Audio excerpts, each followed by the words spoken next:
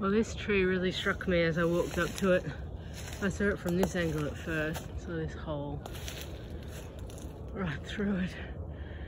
Not a leaf on this tree. Completely gutted. You see from the back.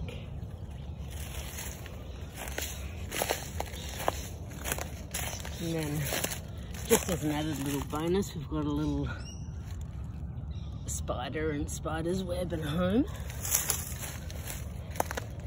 But what struck me as I was having a gander at this tree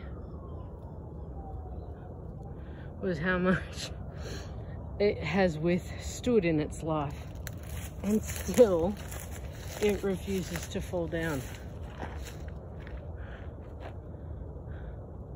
It's amazing. It's amazing.